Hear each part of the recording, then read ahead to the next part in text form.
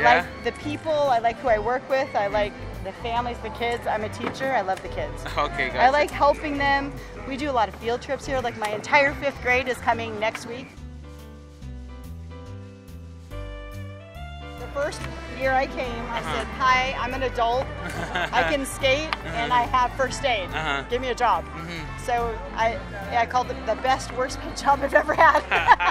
but it, everybody, it's, we become like a family. Like a lot of people come back year after year, and we have so much fun together. Uh, the sponsors come back all the time. Um, we get like Jeff's. This is his third year managing. We've had a number of managers, but they tend to like to come back to Monterey. Yeah. it's a nice community. Uh-huh.